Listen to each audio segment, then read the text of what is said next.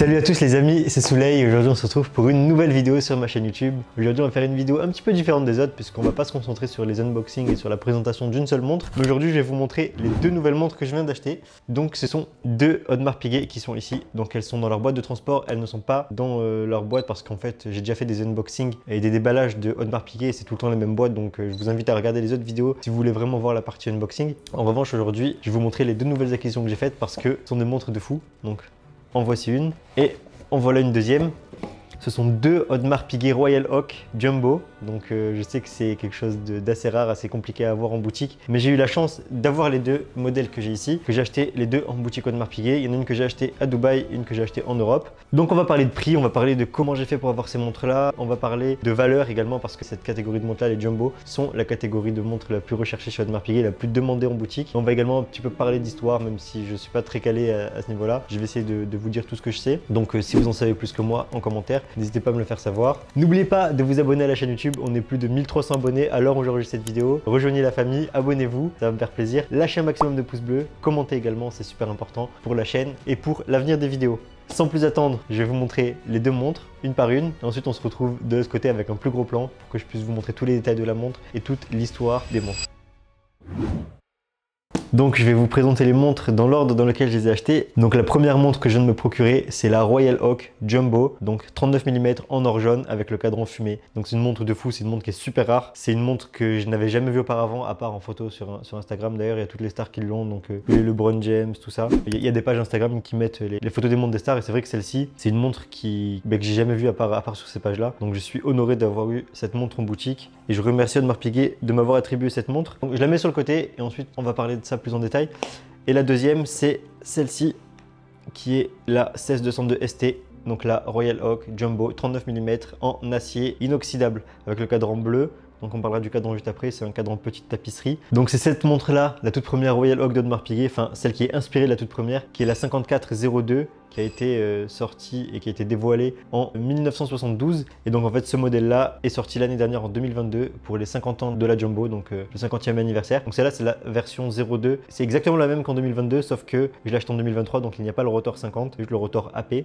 Mais c'est exactement la même montre, exactement la même couleur, exactement le même cadran, le même bracelet, le même boîtier. Donc on va venir sur tous ces détails juste après parce qu'il y a quelques innovations par rapport aux modèles qui sont sortis avant l'année 2022. Et on va également parler de l'histoire de la Royal Oak maintenant, je vais vous parler de l'histoire de ces deux montres-là. Donc l'histoire de la Royal Oak Jumbo, parce que c'est vrai que c'est la montre iconique de Audemars Piguet. C'est la montre qui est le plus demandée, c'est la montre la plus connue, la plus emblématique. Donc c'est une montre 39 mm. Donc elle est plus petite que les autres montres, donc les 41, juste 3 aiguilles date. Sur cette montre-là, on retrouve donc deux aiguilles. On verra après les gros plans. L'affichage de la date, c'est une montre qui est jumbo, ça veut dire extra fine, car elle ne fait que 8,1 mm d'épaisseur. Donc c'est une prouesse euh, d'avoir un mouvement qui affiche l'heure et la date dans un boîtier si fin. On retrouve un case transparent, mais on va revenir sur tous ces détails-là juste après je vais poser les montres devant moi pour qu'on puisse les voir. Hop. maintenant, je vais vous parler de l'histoire de la Royal Oak. Cette montre-là, elle a été demandée par les dirigeants d'Audemars Piguet dans les années 1970 au designer euh, Gérald Genta, donc qui est iconique, qui a également dessiné la Patek Nautilus. Et ils lui ont demandé en fait de euh, réaliser le design pour une montre qui serait sportive parce qu'il n'avait pas de montre sportive à l'époque, donc avec un bracelet intégré et qui serait en acier, donc quelque chose qui viendrait casser les codes de l'époque parce qu'il faut savoir qu'à l'époque, les montres de luxe n'étaient pas en acier, elles étaient en or ou en matériaux précieux. Donc là, ils voulaient vraiment sortir leur toute première montre en acier qui serait au même prix limite que les montres en or. Donc ils ont demandé de faire une montre qui serait super belle, qui serait iconique et qui euh, justifierait le prix de la montre à l'époque où elle est sortie, sachant que c'est un matériau qui est moins noble que l'or ou, le platine par exemple, mais qui serait donc en acier. C'est ce que Gérald Janta fait et il est venu avec le design de la 5402 en 1972 et donc c'est la toute première Royal Oak de 39 mm, donc c'est la première jumbo et c'est à cette montre que rend hommage celle-ci et celle-ci bien sûr dans une moindre mesure car elle est en or jaune. J'ai sous les yeux la toute première brochure d'Audemars Piguet, donc la toute première pub de Audemars Piguet qui vante les mérites de la montre. Elle a été designée comme une montre de sport, mais maintenant dans les codes actuels c'est plus une montre dress watch parce que elle est fine, c'est plus un bijou, elle est vraiment iconique donc c'est pas une montre sportive. Maintenant les montres sportives sont plus des montres chrono. Ça reste dans la catégorie montre sportive mais les gens la portent plus de manière habillée. C'est également mon cas, je vais pas porter mes jumbo tous les jours étant donné que j'ai d'autres Royal Oak que je peux porter dans d'autres occasions quotidiennes. Donc pour revenir à la toute première brochure, on peut voir que le Royal Oak ça vient de ce bateau-là, donc c'est un bateau qui s'appelle Royal Oak. Et d'ailleurs, le design de la montre a été inspiré par tout l'aspect maritime, c'est-à-dire que la, lunette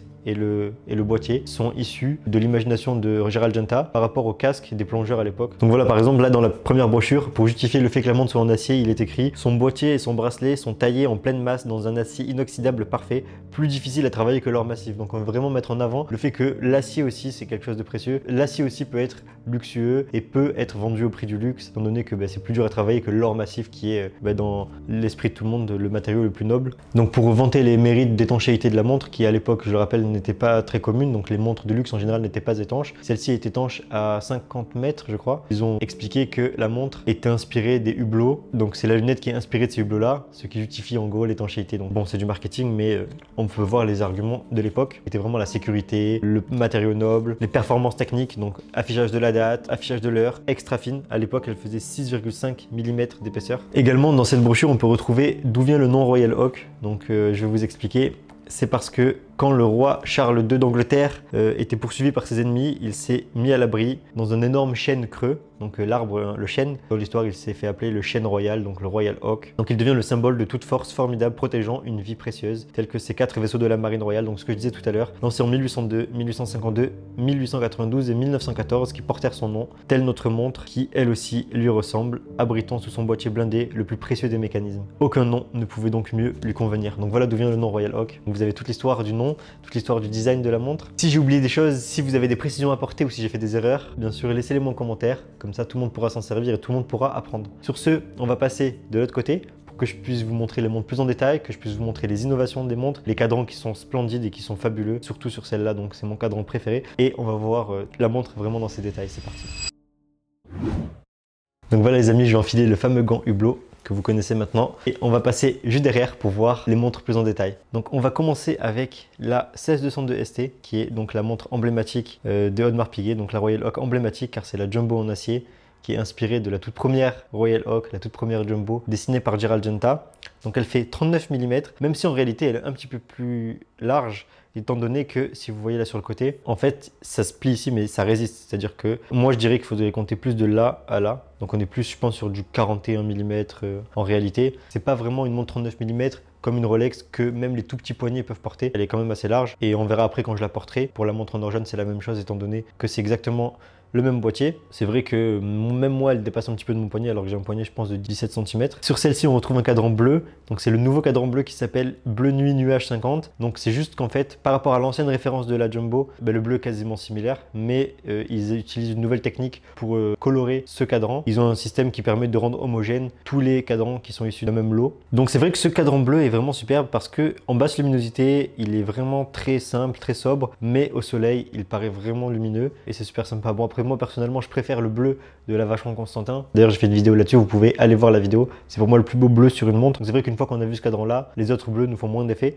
mais ça reste quand même un très beau bleu sur cette Royal Oak, quand même le bleu iconique du euh, design de Gérald Genta. On retrouve sur ce cadran bleu des appliques et des aiguilles qui sont en or gris, qui sont appliquées sur le cadran. Donc elles sont légèrement plus fines que sur les anciennes références, un peu plus harmonieuses. On a également le logo AP qui est à 6 heures, qui est en or gris. Ce qui est en or gris aussi dans la montre, ce sont les vis qui sont sur la lunette. Donc les vis sont tout en or gris et elles sont d'ailleurs parallèles au cercle pour que ce soit super design quoi. C'est comme pour toutes les Royal Oak et pour toutes les Royal Oak offshore bien entendu. On retrouve un guichet de date à 3 heures et comme vous pouvez le remarquer il n'y a pas de petites secondes, il n'y a pas de trotteuse parce que le mouvement est tellement fin qu'ils n'ont pas pu mettre une trotteuse pour garder la finesse du mouvement. La couronne n'est pas une couronne vissée donc la couronne tourne dans le vide on va dire mais c'est parce que la montre n'est étanche qu'à 50 mètres. Donc personnellement je recommande pas d'immerger la montre, c'est pas du tout une montre qui est faite pour aller à la piscine ou à la plage ou euh, pour aller faire euh, des sports aquatiques avec. C'est vraiment une montre qui résiste aux éclaboussures, à la pluie, mais je ne recommande pas de l'immerger, même si en théorie elle résiste à l'eau. Donc la couronne, je vais la tirer une première fois. Quand on la tire une première fois, on arrive au réglage de la date. Donc ça c'est nouveau. Sur l'ancienne référence de la Royal Oak, on était obligé de tourner l'heure, faire deux tours de cadran par aiguille avec l'aiguille des heures pour changer la date. Vous avez compris, ça veut dire que si on est le 31 et qu'on veut mettre la montre au 4, fallait faire euh, je sais pas combien de tours et c'était super long et super euh, compliqué. Alors que maintenant, on a vraiment le changement de la date rapide avec le nouveau mouvement qui a été introduit en 2022 sur les Jumbo. Et si on tire la couronne au deuxième cran, on a accès à la position de l'heure, donc des aiguilles pour la mise à l'heure. Donc voilà, c'est super simple. Et pour arrêter ça, on a juste à pousser la couronne et voilà, la montre est setup. Elle est parfaitement réglée. Pourquoi est-ce que c'est une montre iconique? C'est parce qu'en fait c'est une montre qui a été introduite et qui était en acier donc en 1972. Mais en fait c'est une montre en acier qui est super travaillée donc comme on peut le voir la montre est bourrée de détails. On peut voir qu'il y a un jeu de lumière en fait sur toute la montre. Donc on peut voir que la lunette elle est brossée donc elle est satinée. Les aiguilles sont polies. Déjà on a le premier jeu de lumière là. Ensuite le côté de la lunette poli, donc il est vraiment brillant. On a vraiment des belles réflexions. On a le boîtier et le bracelet qui est satiné, mais avec des détails qui sont polis. Comme on peut le voir ici, en partant du milieu du boîtier jusqu'en bas du bracelet. En fait, c'est comme si ça ne s'arrêtait pas. En fait, c'est la même ligne en fait qui continue. Donc ça, c'est vraiment incroyable. Également sur le bracelet en lui-même, on a les euh, liens des maillons qui sont brossés, donc qui sont satinés, mais avec les angles qui sont polis à chaque extrémité, ce qui donne un vrai jeu de lumière lorsque la montre est au poignet et qu'elle tourne sur elle-même. On a vraiment cette réflexion qui est iconique de la Royal Oak, c'est quelque chose qui est reconnaissable de super loin. Qu'est-ce que je peux dire d'autre? C'est que euh, sur ce bracelet-là, donc c'est comme sur la plupart des Royal Oak, on a une boucle déployante à deux sens, c'est-à-dire qu'on doit d'abord mettre ce côté-là pour ensuite fermer avec le logo AP. D'ailleurs, on peut voir que même les tranches du carré dans lequel est gravé le logo AP sont polies, c'est-à-dire que même là c'est brillant, c'est quand même un vrai détail. Cette montre-là est vraiment euh, super jolie. En fait, elle, été travaillée pour que ce soit vraiment un bijou, même si c'était en acier. à l'époque, l'acier n'était pas du tout vu comme un bijou ou comme un matériau précieux pour une montre qui coûte super cher. Donc, je n'ai pas les prix euh, de l'époque, mais ça devait, être au même prix que les montres en or de l'époque. À l'arrière, on peut apercevoir le mouvement grâce au boîtier qui est maintenant transparent grâce à une vitre en saphir. D'ailleurs, on peut voir ici, on peut changer la date de manière rapide grâce à cette partie-là. On a le balancier ici et en dessous qui permettent une résistance au choc euh, plus accrue qu'auparavant et cette magnifique masse oscillante en or rose où est écrit AP, donc le logo de la maison. Et si vous avez acheté la montre en 2022, ici il y a juste écrit 50 years, donc pour le symbole des 50 ans de la Royal Oak. Maintenant on va passer à la Royal Oak 162BA, donc c'est une des rares Audemars Piguet qui est euh, en matériaux or jaune. Je pense qu'il n'y a pas beaucoup de vidéos sur YouTube sur cette montre là, donc lâchez un maximum de pouces bleus si vous la kiffez. Franchement, cette montre là, le truc qui ressort directement, qui tape le plus à l'œil, c'est bien entendu ce magnifique cadran qui est fumé. Donc le cadran, il est doré au milieu et il y a un dégradé de couleur pour finir sur un contour noir. Franchement, je l'ai vu la montre en l'ancienne référence avec le cadran qui était tout doré, mais je préfère largement celle-ci, ça, donne de la profondeur à la montre, ça donne, vraiment un côté actuel à la montre et c'est vraiment magnifique. Pour tout ce qui est définition, on a exactement la même chose que sur euh, la montre en acier car on a la même chose, donc une montre de 8,1 mm d'épaisseur. On a tous les jeux de lumière dont je parlais juste avant, mais cette fois-ci ils sont en or jaune, donc ça se voit peut-être un petit peu mieux. Et voilà, c'est vraiment magnifique. La montre par contre, elle est beaucoup plus lourde, ça se ressent quand on la prend euh, dans la main, alors qu'avant j'avais celle-ci. C'est vrai qu'elle doit être, euh, je pense, deux fois plus lourde. La montre est étanche à 50 mètres, comme la Jumbo en acier. On a pareil, la même couronne vissée, le même réglage de la date et de l'heure. Donc je ne vais pas revenir là-dessus tout simplement parce que on a exactement le même mouvement à l'arrière, donc le même mouvement avec la masse oscillante AP. Donc ce que j'aime également sur cette montre, c'est le logo AP qui est posé en or jaune parce que sur la montre en acier, c'était en or gris. On a également les aiguilles et les euh, index qui sont en or jaune et traités bien sûr avec une matière luminescente qui s'allume, en gros qui s'éclaire dans l'obscurité. Maintenant je vais passer les montres à mon poignet pour que vous puissiez voir comment ça rend et on va également voir avec le gros plan parce que c'est intéressant de voir comment euh, la montre épouse la forme du poignet, sachant que j'ai un petit poignet. Donc ça, c'est la Frosted que je vais poser. D'ailleurs, j'ai fait une vidéo dessus, allez la voir. Donc, je vais commencer par la montre en or jaune. Tac.